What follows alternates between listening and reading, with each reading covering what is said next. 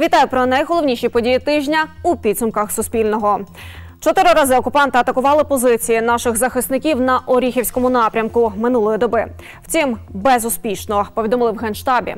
За підтримки авіації намагалися просунутися північно-західніше Вербового.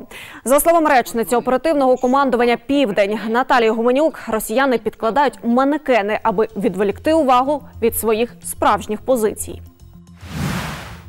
1463 удари завдали окупанти по містах і селах області протягом цього тижня. Унаслідок артудару поранено 47-річного жителя Оріхова. Його доставили до лікарні. Про це повідомили в Нацполіції. Загалом військові РФ били з авіації, артилерії, РСЗВ. Також вночі над Запорізькою областю сили ППО збили сім російських безпілотників. Повідомив начальник ОВА Іван Федоров. В Оріхові врятували трьох людей з під завалів. Про це повідомили в ДСНС області. Там внаслідок ворожого обстрілу сталося руйнування приватного будинку. Всередині заблокувало чоловіка та двох жінок. Рятувальники спільно з поліцейськими деблокували людей. Врятованого чоловіка ушпиталили. 30 людей евакуювали з перефронтових територій області впродовж березня. Про це сказав начальник ОВА Іван Федоров. Він також зазначив, що найбільше охочих виїхати було на початку березня, коли росіяни посилили обстріли. Нині ж в області немає примусової та масової евакуації. Однак людей постійно закликають виїжджати. У Запоріжжі їм надають тимчасове житло, соціальну, матеріальну та гуманітарну допомогу. Сказав Федоров. У тимчасово окупованому Бердянську розпочався призов до армії РФ. Про це повідомила начальниця міської військової адміністрації Вікторія Галіціна.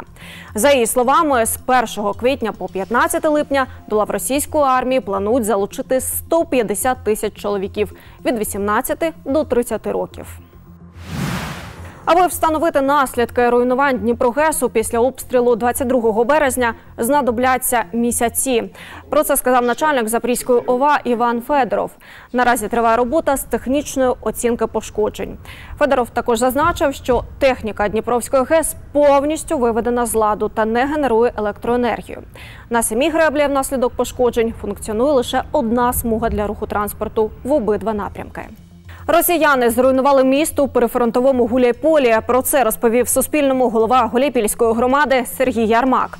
За його словами, окупанти завдали удару керованою авіабомбою. Відтепер людям буде складніше дістатися до лікарні, ринку чи пункту незламності. На запорізькому напрямку сили спеціальних операцій знищили російський реп житель. Про це повідомили на сторінці у Фейсбук.